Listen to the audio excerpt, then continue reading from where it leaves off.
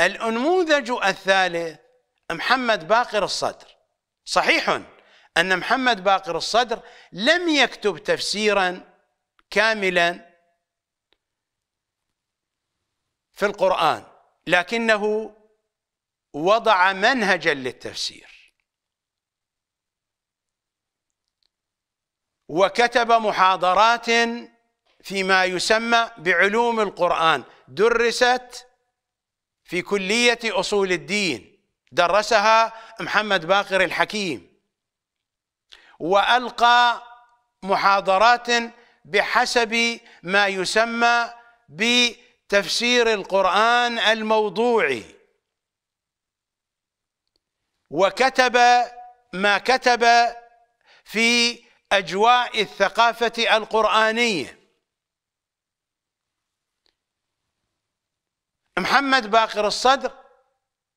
أنموذج ثالث من النماذج التي أعرضها بين أيديكم من نماذج المنظومة التفسيرية الطوسية الخرائية النجسة المسخ.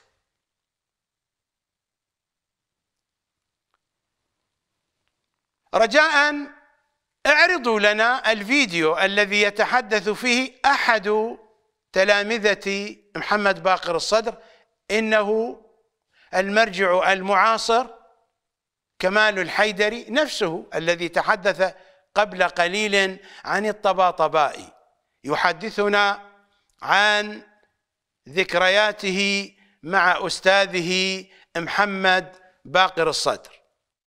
وهذه ناقلها أنا مرارا عن أستاذنا السيد الشهيد الصدق قدس الله نفسه كان يقول بأنه أنا في اليوم واقف عنده في حرم أمير المؤمنين دا أقرأ زيارة مولانا إجاني واحد مولانا سألني هذه الآية شنو معناها؟ قلت له هاي مو آية في القرآن. مو آية في القرآن. يقول راجعت البيت مولانا باوعت المعجم المفهرس وإذا آية من القرآن ولكن أنا لا أعلم أنها آية من القرآن. ثم هو علق الله يعلم في درس الفقه صباحا في مسجد الطوسي قال والله لو كنت أسأل عن أي رواية من أول الفقه إلى آخره لأجبت عن مضمونها وسندها لأن الفقه كالعجينة في يدي. ولكن أسأل عن آية من القرآن لا أعرف أنها آية. هذا الضعف ما هو منشأه؟ ما هو منشأه؟ منشأه ماذا؟ الحوزة لأنه وإلا هو إحنا ما عندنا حداء مع القرآن ولكن من اليوم الأول ثقافتنا قرآنية لو روائية. والله يا سيد كمال حيدري الثقافة في الحوزة لا هي قرآنية ولا هي روائية. ومحمد باقر الصدر نفسه هذا. لو سئل عن أي رواية بخصوص إمام زمانه لما عرفها. لكان جاهلا بها. صحيح ما قاله من أنه مطلع على روايات الأحكام والفتاوى. هذا صحيح. لكن روايات الأحكام والفتاوى لا تمثل شيئا من الدين. إنها تقع في حاشية الدين. معارف الدين في الأحاديث التفسيرية معارف الدين في نصوص الأدعية والزيارات معارف الدين في روايات العقائد والمعارف معارف الدين في أحاديث الثقافة المهدوية. معارف الدين هي هذه وهذا هو الدين وهذا هو الذي تجهله حوزة النجف من أولها إلى آخرها وبشكل مطلق.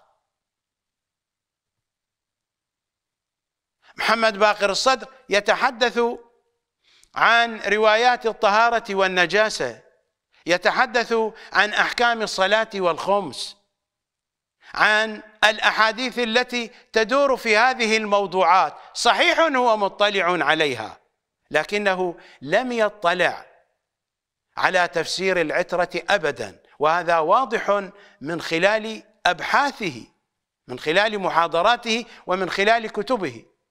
وسأثبت لكم ذلك. رجاء أعيد بث الوثيقة كي يتسنى للمشاهدين أن يدققوا في مضمونها. وهذه ناقلها أنا مرارا عن أستاذنا السيد الشهيد الصدق قدس الله نفسه كان يقول بأنه أنا في يوم واقف عنده في حرم أمير المؤمنين دا أقرأ زيارة مولانا؟ إجاني واحد مولانا سألني هذه الآية شنو معناها؟ قلت له هاي مو آية في القرآن. مو آية في القرآن. يقول راجعت البيت مولانا باوعت المعجم المفهرس وإذا آية من القرآن ولكن أنا لا أعلم أنها آية من القرآن. ثم هو علق الله يعلم في درس الفقه صباحا في مسجد الطوسي قال والله لو كنت أسأل عن أي رواية من أول الفقه إلى آخره لأجبت عن مضمونها وسندها لأن الفقه كالعجينة في يدي. ولكن أسأل عن آية من القرآن لا أعرف أنها آية. هذا الضعف ما هو منشأه؟ ما هو منشأه؟ منشأه ماذا؟ الحوزة. لأنه والا إحنا ما عندنا حداء مع القرآن. ولكن من اليوم الأول ثقافتنا قرآنية لو روائية. والله يا كمال الحيدري الثقافة لا هي قرآنية ولا هي روائية. الثقافة شافعية معتزلية مرجئية بترية. لا علاقة لها لا بالقرآن ولا حتى بالروايات والأحاديث التي تدور في دائرة الفتاوى والأحكام لأنهم يفقهونها بشكل خاطئ. الجزء الرابع من الموسوعة التي عنوانها محمد باقر الصدر السيرة والمسيرة في حقائق ووثائق لأحمد عبد الله أبي زيد العاملي. هذه طبعة مطبعة العارف للمطبوعات. في الصفحة الرابعة والثمانين. وتحت عنوان فكرة محاضرات التفسير الموضوعي. التفسير الموضوعي هو الذي تبناه محمد باقر الصدر في تدريسه للقرآن في حوزة النجف. ماذا جاء مكتوبا هنا؟ في إحدى دروسه الفقهية الحديث عن محمد باقر الصدر في إحدى دروسه الفقهية تعرض السيد الصدر إلى مسألة عدم اهتمام الحوزة العلمية بالقرآن الكريم. وهو أولهم هو أولهم هو لا يفقه في القرآن. ومع عدم فقهه في القرآن تصدى لتدريس القرآن. فأي تدريس هذا؟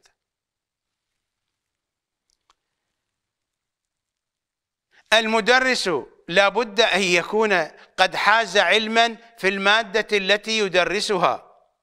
لا أن يبدأ الآن بالبحث ويلقي الدروس.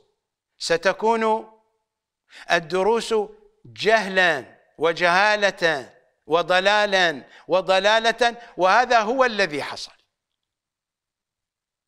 وسأقرأ عليكم ماذا قال محمد باقر الصدر في جهله وضلاله بدين العترة الطاهر في كتبه.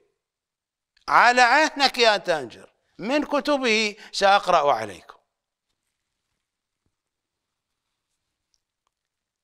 في إحدى دروسه الفقهية تعرض السيد الصدر إلى مسألة عدم اهتمام الحوزة العلمية بالقرآن الكريم ثم أضاف عندما بلغت الثامنة عشر من عمري علقت مع الشيخ عباس الرميثي من علماء النجف. من علماء النجف في فترة الستينات والسبعينات. علقت مع الشيخ عباس الرميثي تعليقة كاملة حول معظم أبواب الفقه وكان الفقه في يدي ينصاع كما تنصاع العجينة في يد الخباز ولا زالت تلك المباني بأغلبها هي بنفسها المباني التي لدي الآن.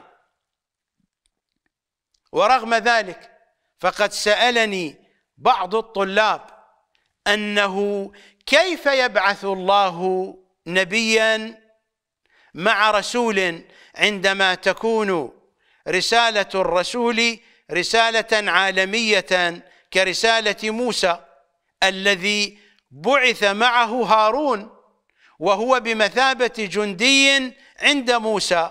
فما معنى نبوة هارون وهما في منطقة واحدة وفي زمان واحد؟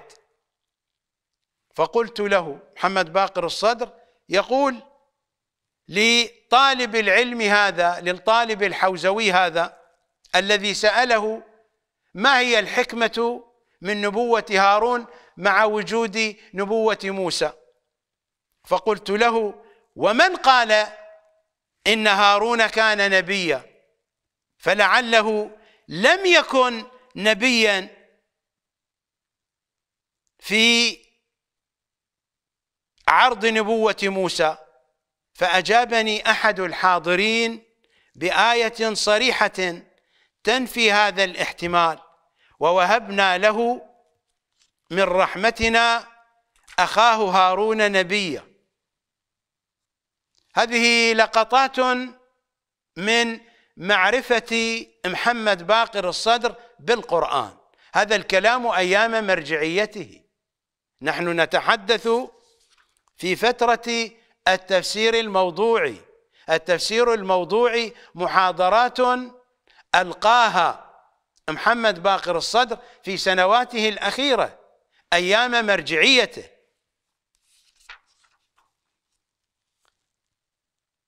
ففي اللقطة التي نقلها كمال الحيدري سئل عن آية فنفى أنها من آيات القرآن. وسأله أحد طلاب الحوزة عن نبوة هارون فنفى أن يكون هارون نبيا. ولكن حاضرا من الحاضرين أجابه بالآية. ووهبنا له من رحمتنا أخاه هارون نبيا.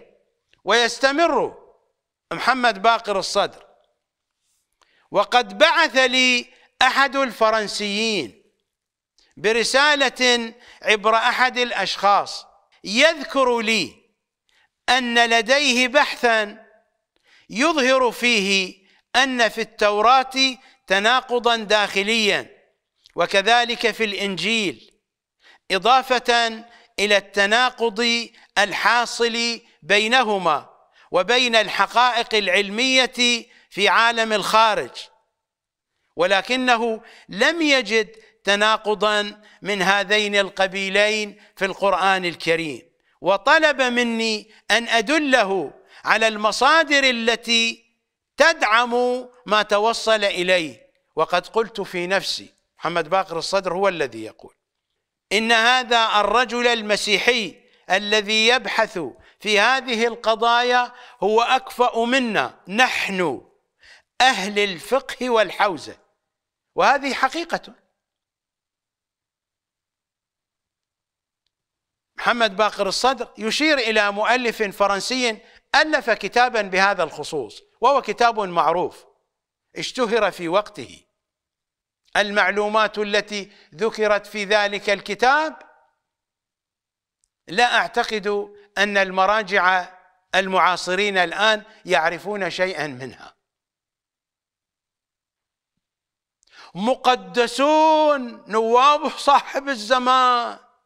ثولان مطاية ويجب علينا أن نقدسهم وهم لا يفقهون شيئا من الدين لا من القرآن ولا من معارف العترة. وهذه الوثائق بين أيديكم. وقد قلت في نفسي إن هذا الرجل المسيحي الذي يبحث في هذه القضايا هو أكفأ منا نحن أهل الفقه والحوزة. فإلى من أرجعه من أهل الحوزة بحيث يستطيع أن يجيبه هو نفسه لا يستطيع أن يجيبه هذا هو واقع الحوزة الطوسية القذرة. هذه المعلومات موثقة. طلاب محمد باقر الصدر يعرفونها وهذه الموسوعة مؤلفها حي. والذين نقل عنهم أحياء وهذه الوقائع سمعتها مرارا وكرارا من تلامذتي محمد باقر الصدر وهم أحياء. هذه وأمثالها. هل تستغربون أن أقول لكم من أن كتب المراجع التي تمثل أعلى مستوى في الفقه الاستدلالي وهم يستدلون على الأحكام يستدلون بآيات ليست موجودة في الكتاب الكريم. وقد ضربت لكم أمثلة على هذا فيما سلف في البرامج السابقة. فيأتون بآيات محرفة ولا زالت هذه الآيات المحرفة موجودة في كتبهم. المقام ليس لتناول كل صغيرة وكبيرة لكن هذه الصور وهذه الحقائق وهذه الوثائق تخبركم عن شيء من الواقع الوسخ القذر. معايشتي في أجواء الحوزة الطوسية شاهدت فيها الكثير والكثير من هذه الوقائع عند كبار القوم أو عند صغارهم. الجهل يتفشى بين المعممين بشكل غريب. فيما يرتبط بالقرآن وما يرتبط بحديث العترة. والله لا يفقهون شيئا لا من القرآن ولا من حديث العترة. هناك معلومات في رؤوسهم تسمى معلومات بحسب الحوزة الطوسية هي قذارات وجهالات. إنها الجهالات الطوسية والقذارات الحوزوية والنجاسات المرجعية. ما هي بعلم؟ يدرسونها يدرسونها يؤلفون فيها المؤلفات ويسمون أنفسهم بالمفسرين والمحققين وبالعلماء الأعلام ولا يوجد شيء من ذلك فيهم. إنها جهالات فوقها جهالات ظلمات فوقها ظلمات. هذه هي الحقيقة النهائية لواقع الحوزة الطوسية النجسة القذرة. نذهب إلى فاصل. المدرسة القرآنية كتاب معروف لمحمد باقر الصدر. وهذا من مؤلفاته في أخريات أيام حياته. المدرسة القرآنية. هذه الطبعة طبعة مكتبة سلمان المحمدي. الطبعة الأولى 2013 ميلادي. أتمنى عليكم أن تنصتوا جيدا لما يقوله محمد باقر الصدر كي تستكشفوا ضلال هذا الرجل وجهالته. تستكثرون هذا؟ أنصتوا. وإذا لم تصدقوا عودوا إلى الكتاب بأنفسكم. في الصفحة الثلاثي هكذا يقول محمد باقر الصدر. قال أمير المؤمنين عليه الصلاة والسلام وهو يتحدث عن القرآن الشريف. ذلك القرآن فاستنطقوه ولن ينطق ولكن أخبركم عنه. ألا إن فيه علم ما يأتي والحديث عن الماضي ودواء دائكم ونظم ما بينكم. هذا النص قرأته مرارا عليكم في الحلقات المتقدمة. هذا كلام أمير المؤمنين. ذلك القرآن فاستنطقوه ولن ينطق. أمير المؤمنين يقول لنا استنطقوه حتى تقفوا بأنفسكم على أن القرآن لن ينطق لأنه بين لنا النتيجة. ذلك القرآن فاستنطقوه ولن ينطق. وهذه لن للنفي التأبيدي ولكن أخبركم عنه. أنا الذي أنطق عنه. ألا إن فيه علم ما يأتي والحديث عن الماضي ودواء دائكم ونظم ما بينكم. خلاصة كلام أمير المؤمنين في النقاط التالية. النقطة الأولى. أمير المؤمنين قال لنا استنطقوه. ابذلوا غاية جهدكم في أن تستكشفوا حقيقة القرآن. استنطقوه. استنطاق. استفعال. عملية الاستفعال تحتاج إلى بذل جهد. ابذلوا غاية جهودكم في معرفة القرآن. ذلك القرآن فاستنطقوه. النتيجة ما هي؟ ولن ينطق لن تصلوا إلى شيء. فإذا ما توهمتم أنكم وصلتم إلى شيء فذلك هو الضلال. الطوسيون يقولون نحن نستنطق القرآن. فما يخرجونه من ضلال عقولهم يعتقدون أنه تفسير. أمير المؤمنين هكذا قال لنا جربوا بأنفسكم ولكنه يخاطب أصحاب البصائر الذين لا بصيرة لهم من هؤلاء الذين ذكرتهم لكم من نماذج المنظومة التفسيرية الطوسية الخرائية النجسة المسخ. هؤلاء لا بصيرة عندهم. ولذا ما يستخرجونه مما يتصورونه أنه استنطاقا للقرآن يعدونه تفسيرا وهو خراء في خراء. أمير المؤمنين هكذا قال لنا ذلك القرآن فاستنطقوه فابذلوا غاية جهدكم في استكشاف حقائق القرآن. النتيجة ما هي؟ ولن ينطق نفيا تأبيديا. إذا ماذا نصنع يا أمير المؤمنين؟ عودوا عودوا إلى عالم القرآن. ولكن أخبركم عنه. فماذا في القرآن يا أمير المؤمنين؟ ألا إن فيه علم ما يأتي. والحديث عن الماضي ودواء دائكم ونظم ما بينكم. هذا هو كلام أمير المؤمنين ماذا يقول محمد باقر الصدر؟ بعد أن أورد الحديث مباشرة التعبير بالاستنطاق الذي جاء في كلام ابن القرآن عليه الصلاة والسلام القرآن جزء من مضمون علي يا أبا جعفر. علي ما هو بابن للقرآن؟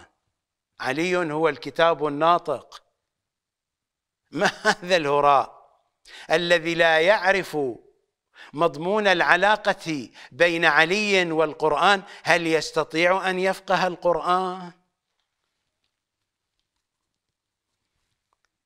التعبير بالاستنطاق الذي جاء في كلام ابن القرآن عليه الصلاة والسلام أروع تعبير عن عملية التفسير الموضوعي بوصفها حوارا مع القرآن الكريم. يعني أن محمد باقر الصدر يجري حوارا مع القرآن الكريم وبعد ذلك يخرج لنا تفسيرا. كيف فهم محمد باقر الصدر أن أمير المؤمنين يقول ذلك؟ وهو الذي يقول ولن ينطق ولكن أخبركم عنه هل كان محمد باقر الصدر غبيا ابدا. محمد باقر الصدر كان في قمة الذكاء المدرسي لكنه لا يملك ذرة من الذكاء الديني. ما كان يمتلك ذرة من الذكاء الديني المراد من الذكاء الديني البصيرة في الدين. هذا منطق الذي لا يملك ذرة من البصيرة في الدين. وحاله كحال اللذين مر الحديث عنهما كحال الخوء وحال الطباطباء. فهذان الاثنان أيضا لا يمتلكان ذرة واحدة من البصيرة في الدين والدليل آثارهما. هذه آثارنا تدل علينا. فانظروا بعدنا إلى الآثار. التعبير بالاستنطاق الذي جاء في كلام ابن القرآن عليه الصلاة والسلام أروع تعبير عن عملية التفسير الموضوعي بوصفها حوارا مع القرآن الكريم. وطرحا للمشاكل الموضوعية عليه بقصد الحصول على الإجابة القرآنية عليها. محمد باقر الصدر عنده مشاكل وعنده أسئلة يطرحها في حواره على القرآن ويحصل الإجابة. أمير المؤمنين يقول لك يا أيها السيد الغبي يقول لك ذلك القرآن فاستنطقوه ولن ينطق. فكيف تستنطقه أنت؟ إنك تستنطق الشيطان. يا أبا جعفر إنك تستنطق الشيطان. فما وصل إليك من فهم هذا فهم شيطاني. أمير المؤمنين كلامه واضح. لو كانت القضية قضية ذكاء مدرسي فإن محمد باقر الصدر في قمة الذكاء بل هو في قمة النبوغ. إذا كان كلامنا عن النبوغ المدرسي عن القراءة والكتابة والبحث بحدود التعلم العادي لكنه في غاية الغباء وفي غاية الثول حينما يكون الحديث عن بصيرة الدين. هذا الكلام كفر صريح. إنه يريد أن يضرب القرآن بعضه ببعض. من ضرب القرآن بعضه ببعض فقد كفر. هذا كلام إمامنا الصادق والباقر. وقد قرأت ذلك عليكم في الحلقة الماضية من تفسير العياشي عن الصادق وعن الباقر صلوات الله عليهما. دققوا النظر في كلام أمير المؤمنين وتذكروا ما شرحته لكم قبل قليل. ذلك القرآن فاستنطقوه ولن ينطق. ولكن أخبركم عنه ألا إن فيه علم ما يأتي والحديث عن الماضي ودواء دائكم ونظم ما بينكم. مباشرة يقول محمد باقر الصدر التعبير بالاستنطاق الذي جاء في كلام ابن القرآن عليه الصلاة والسلام أروع تعبير عن عملية التفسير الموضوعي. بوصفها حوارا مع القرآن الكريم وطرحا للمشاكل الموضوعية عليه بقصد الحصول على الإجابة القرآنية عليها. اذهبوا واقرأوا كتب سيد قطب وخصوصا ما كتبه في تفسيره في ظلال القرآن. اقرأوا المقدمة واقرأوا التفاصيل وهو يتحدث عن التفسير في طوايا تفسيره. بالضبط هذا هو منهج سيد قطب. يأتينا بكلام أمير المؤمنين. كلام أمير المؤمنين مشرق ويشرحه بكلام مغرب. وهذا الكلام المغرب هو كلام سيد قطب لعنة الله عليه.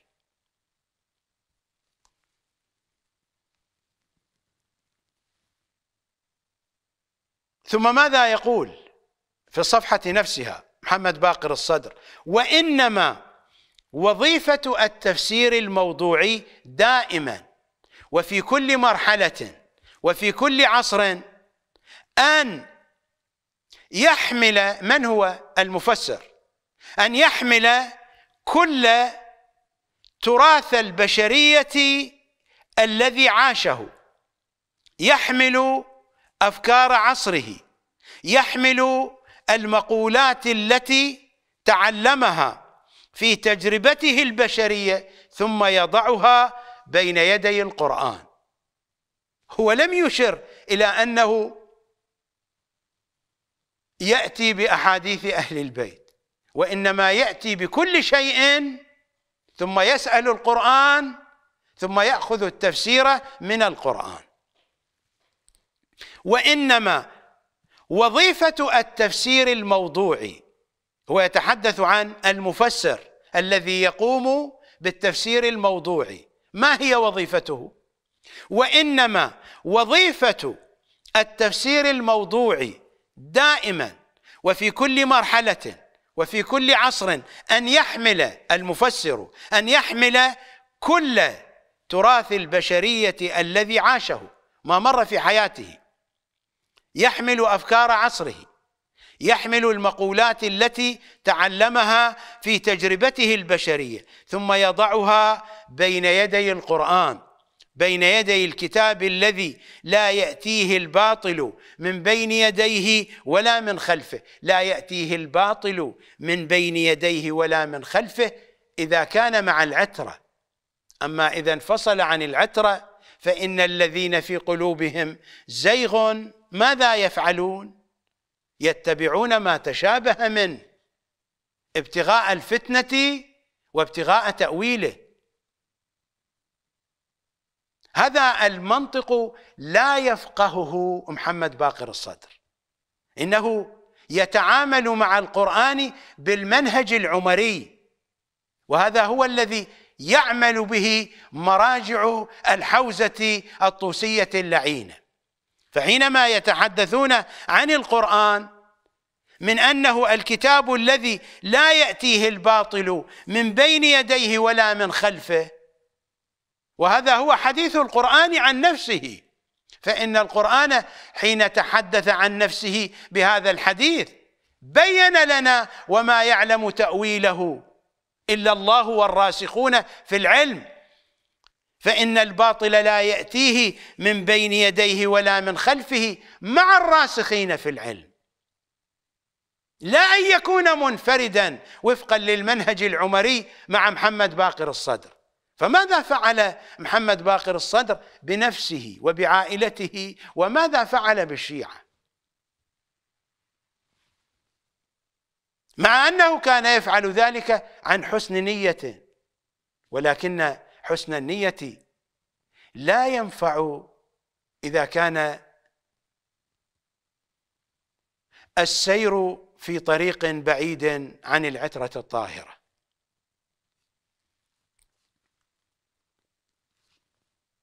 مثلما فرق لنا أمير المؤمنين فيما بين القاسطين والمارقين. القاسطون هم معاوية وعمرو بن العاص ومن معهما والمارقون هم خوارج العراق. أمير المؤمنين فرق بين الاثنين. فقال إن الذي إن الذي إن الذي طلب الحق وما أصابه ليس كالذي طلب الباطل وأصابه. معاوية وعمرو بن العاص هؤلاء طلاب باطل طلبوا الباطل وأصابوه. أما الخوارج لا أستطيع أن أقول من أن الخوارج كلهم هكذا.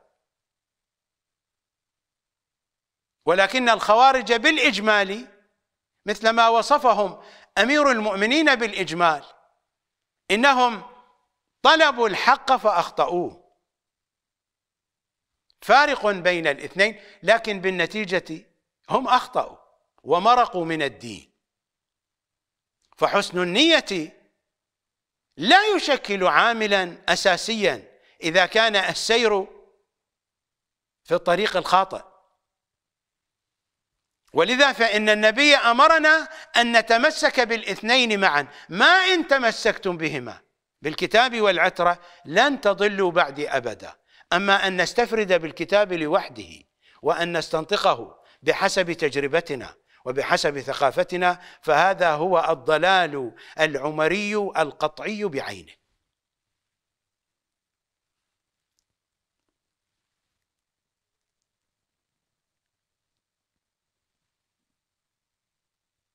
يحمل أفكار عصره. هذا المفسر يعني محمد باقر الصدر يحمل المقولات التي تعلمها في تجربته البشرية ثم يضعها بين يدي القرآن بين يدي الكتاب الذي لا يأتيه الباطل من بين يديه ولا من خلفه ليحكم على هذه الحصيلة بما يمكن لهذا المفسر أن يفهمه. أن يستشفه أن يتبينه من خلال مجموعة آياته الشريفة من دون ذكر لأحاديث العترة.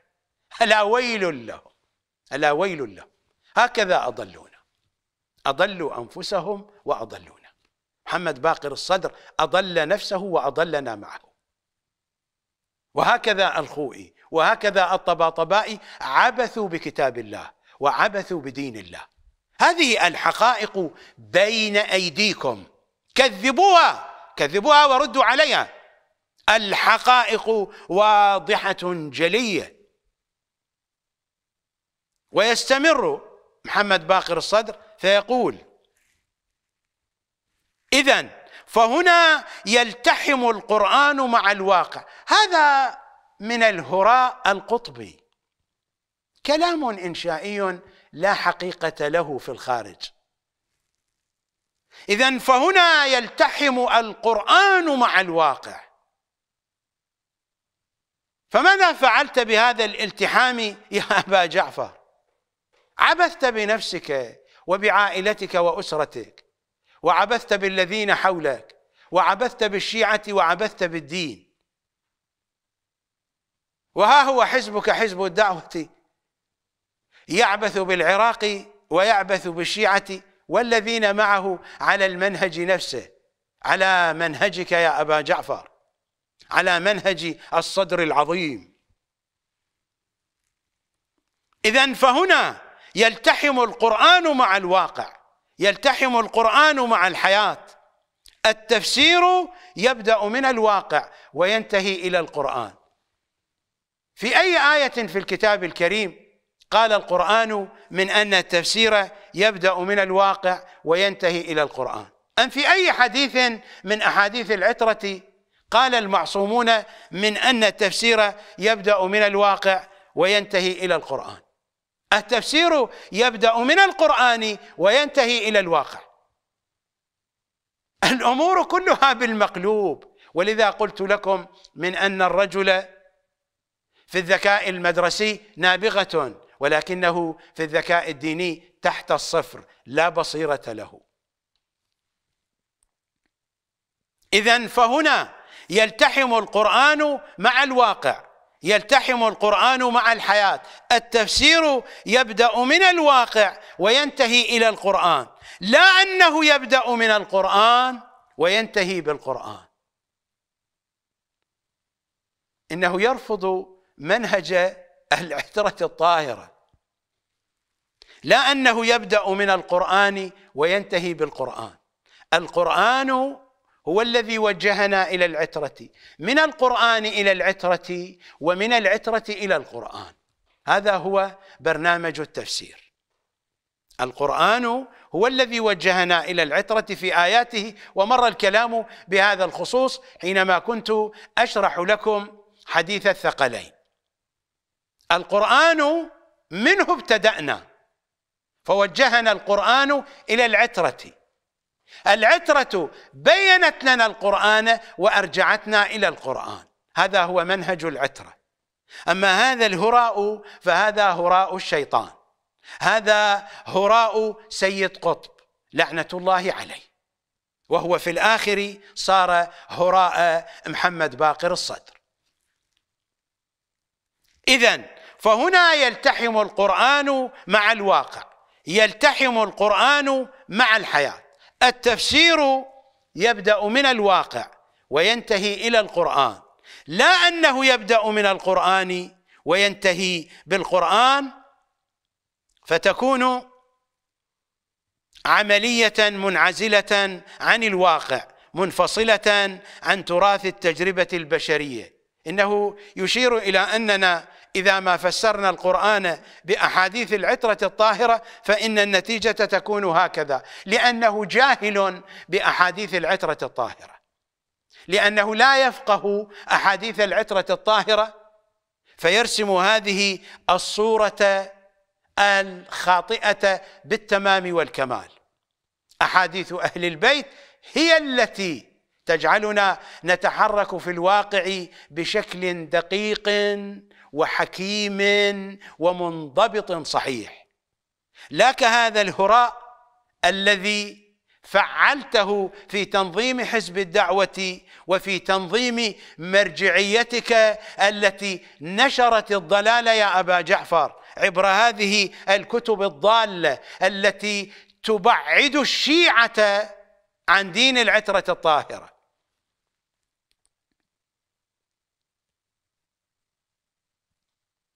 فتكون عملية منعزلة عن الواقع منفصلة عن تراث التجربة البشرية. بل هذه العملية عملية تبدأ من الواقع وتنتهي بالقرآن القيم بوصفه المصدر الذي يحدد على ضوئه الاتجاهات الربانية بالنسبة إلى ذلك الواقع بحسب من بحسبك أنت الذي لا تفقه شيئا من القرآن وتفقه حديث أمير المؤمنين بالمقلوب أو بحسب العترة الطاهرة التي أمرنا النبي أن نتمسك بها مع القرآن حتى نتجنب الضلال. أم أن نتحرك من الواقع باتجاه القرآن كي نجري حوارا حضاريا ديمقراطيا مع القرآن. وما هي النتائج؟ طيحة الحظ التي نحن فيها وطيحة الصبغ اللي إحنا بيه. إلى أن يقول في الصفحة الحادية والثلاثين في منهج التفسير الموضوعي لاحظوا كلامه لاحظوا كلامه بالضبط. ينقض كلام أمير المؤمنين. وهذا الذي أقوله لكم دائما من أن حوزة النجف عبر مراجعها في كل حرف يقولونه ينقضون بيعة الغدير. في منهج التفسير الموضوعي لأننا نستنطق القرآن. هذا ما هو تفسير أمير المؤمنين؟ قال لنا ذلك القرآن فاستنطقوه ولن ينطق. في منهج التفسير الموضوعي لأننا نستنطق القرآن. وماذا بعد؟ وإن في القرآن علم ما كان وعلم ما يأتي.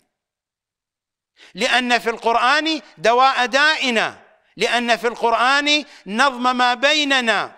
لأن في القرآن ما يمكن أن نستشف منه مواقف السماء اتجاه تجربة الأرض.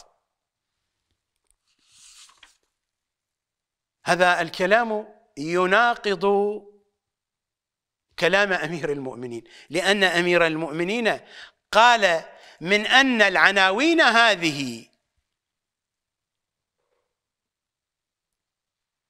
علم ما يأتي والحديث عن الماضي ودواء دائكم ونظم ما بينكم أنا الذي أخبركم عنها.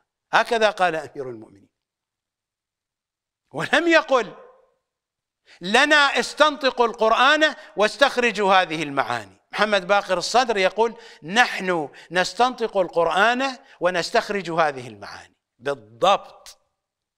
بالضبط. يناقض كلام أمير المؤمنين بدرجة مئة بالمئة. والكلام كله يستمر على هذه الشاكلة. وقت الحلقة انتهى أقرأ بعضا من كلماته وبعدها أختم الحديث.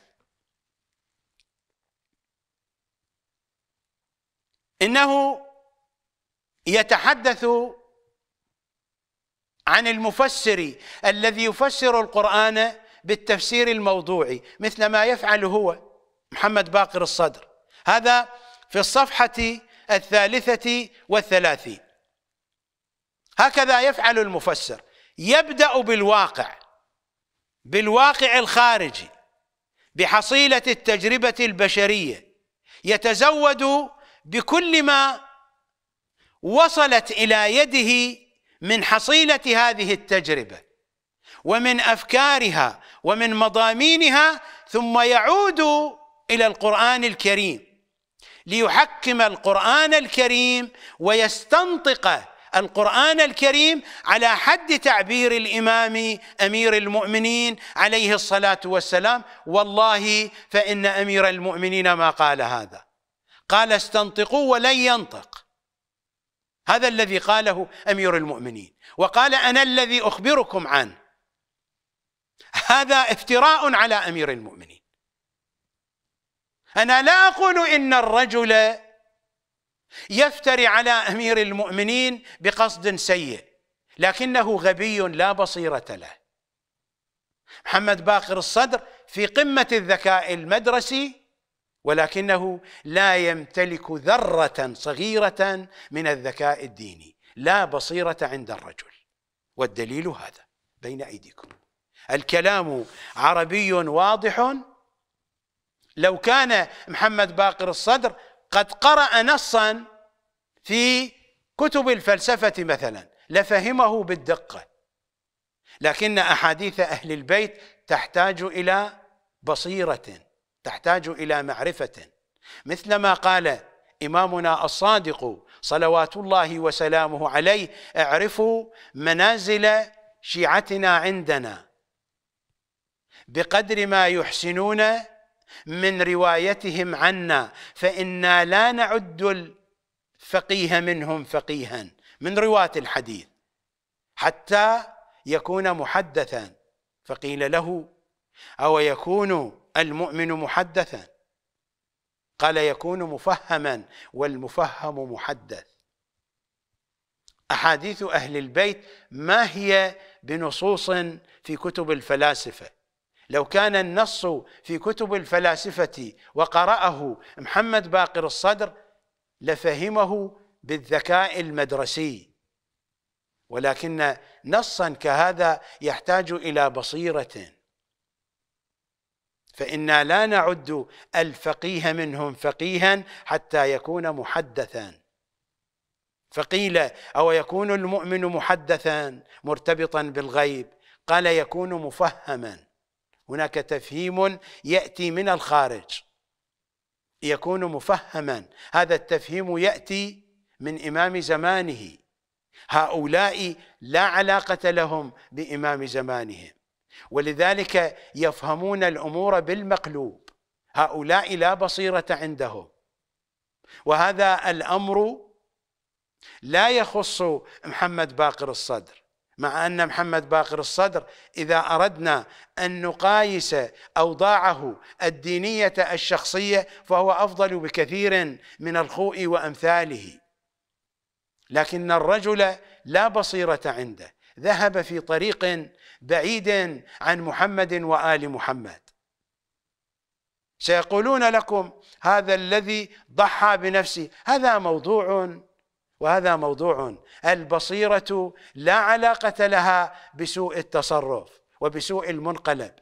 ومن قال لكم من أن الذي فعله كان سديدا؟ عائلته تصفه بعدم السداد. القريبون من يصفونه بعدم السداد. أقرب الناس إليه يصفونه بعدم السداد. لا علاقة لي بمحمد باقر الصدر وبالذي قام به وبالذي جرى عليه. لكنني أتحدث عن منهجه في تفسير القرآن. إنه منهج مناقض لدين العترة الطاهرة وبنحو صريح وواضح. أعود إلى كلامه. فيقول من أن المفسر يبدأ بالواقع بالواقع الخارجي بحصيلة التجربة البشرية يتزود بكل ما وصلت إلى يده من حصيلة هذه التجربة ومن أفكارها ومن مضامينها ثم يعود إلى القرآن الكريم ليحكم القرآن الكريم ويستنطق القرآن الكريم على حد تعبير الإمام أمير المؤمنين عليه الصلاة والسلام. ويكون دوره دور المستنطق دور الحوار. ويكون دوره دور المستنطق دور القرآن. ويكون دوره دور المستنطق دور الحوار. يكون دور المفسر دورا إيجابيا أيضا.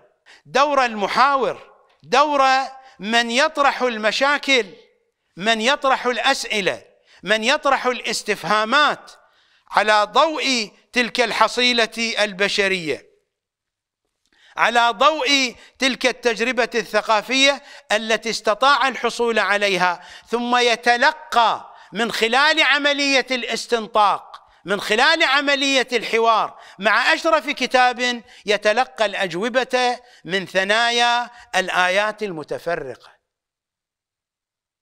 فهو يستخرج الأجوبة من القرآن دون الرجوع إلى العترة الطاهرة. ثم يتلقى من خلال عملية الاستنطاق. أمير المؤمنين قال لنا فاستنطقوه ولن ينطق. لماذا هذا الإصرار؟ إنه الضلال الضلال بعينه. هكذا دمر المراجع الطوسيون اللعناء المنظومة التفسيرية المحمدية العلوية الرائقة وجاءونا بمنظومتهم التفسيرية الطوسية الخرائية النجسة المسخ. وهذه المصادق بين أيديكم وعودوا إلى الكتب وتأكدوا من المعلومات التي طرحتها بين أيديكم. وعودوا إلى مضامين حديث الثقلين. وعودوا إلى آيات القرآن الكريم التي أمرتنا بالرجوع إلى محمد وآل محمد في فهم القرآن. لا إلى هؤلاء الأغبياء الثولان. نلتقي غدا. لا زال للحديث بقية. الموضوعات خطيرة وحساسة. أتمنى عليكم أن تتابعوا الإعادة وأن تتدبروا في هذه المضامين الحقيقية التي تنير لكم الطريق. واكفروا بهؤلاء اكفروا بهؤلاء الذين كفروا بالعترة الطاهرة وبقرآنها وتفسيرها. هذا هو الذي فعلوه في نهاية المطاف.